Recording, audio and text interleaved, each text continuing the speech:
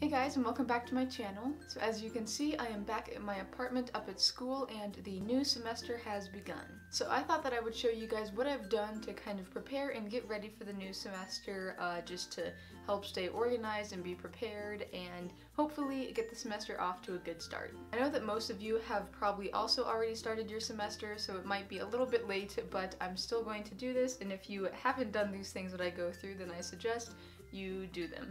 so the first thing that I do to get ready for the new semester is to print out all of my syllabi for my classes. Syllabus to your class is very, very important and you always want to keep it with you and have it with you for reference and read through all of it. Usually at the top of a syllabus, it has uh, your professor and maybe some TAs and what their office hours are, what their email is, all of that. So you definitely want to make sure that you have all of that information with you all the time. And there's just lots of good information in here about all of your responsibilities, what you're gonna learn and when, all of the rules, so like late policies, attendance policies, grades, all of that.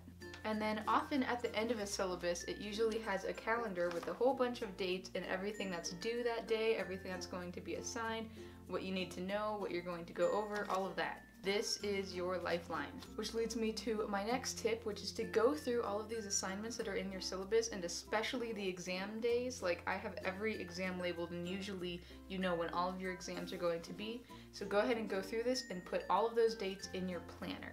That will really help you stay on top of things and keep track of every class and know when assignments are due and coming up and especially know when exams are coming up. So this is my planner here, a 2017-2018 calendar. So I basically just go through this and write down every single thing that I need to know. I haven't gone through everything yet, but so far I have a whole lot landing on Thursdays. so I already know that those are going to be my busy days, but at least I know that ahead of time. And going along with the planner, something that has really helped me uh, this last few semesters is having a big whiteboard calendar.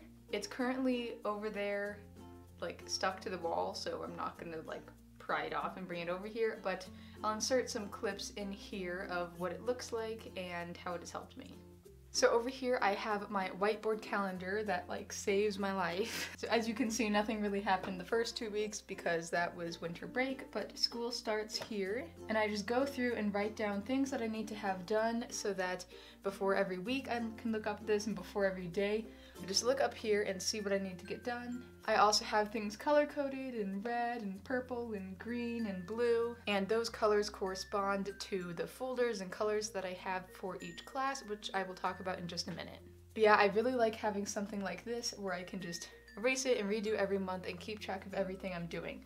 It also has these nice lines over here Totoro needs to move, where I can write to-do lists or notes or things like that so that I have them up here right next to everything else. So like I mentioned with the whiteboard calendar, I think it is very important to color code everything. Right here I have a different folder for every class and right now I have them labeled with a sticky note on here just so that right now I know which class is for which folder. But once I actually get used to the colors and everything, then I can take off the sticky notes and just know which color is for which class. And I correspond these colors with the folders with the colors on my whiteboard and colors in my planner and all of that so that I know when I write something down what class it is for.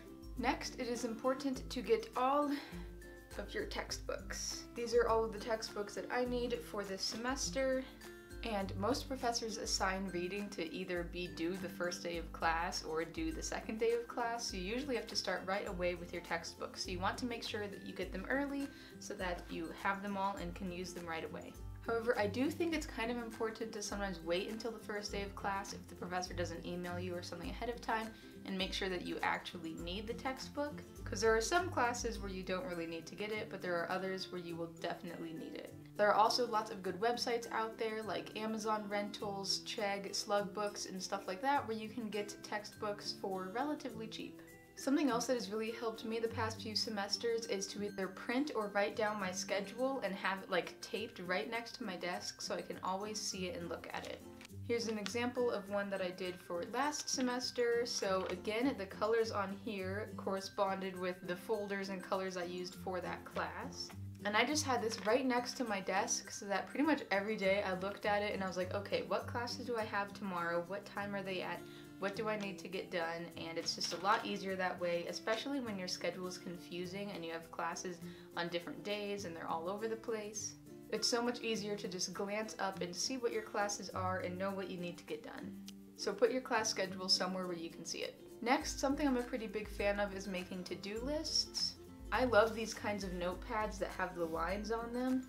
I already have a to-do list here with things that I need to do because my week is gonna start getting pretty busy pretty soon.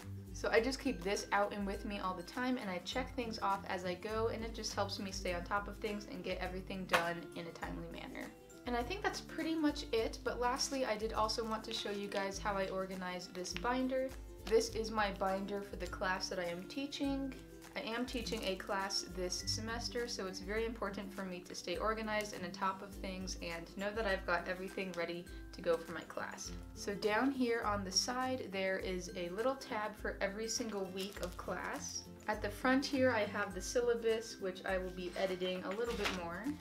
And then under each week, I basically just have a planning worksheet for the upcoming class. I have grade sheets where I put every student's name and what points they got for that day.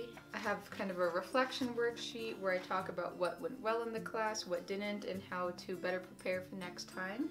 And yeah, this is just all full of things that I need to get done this semester.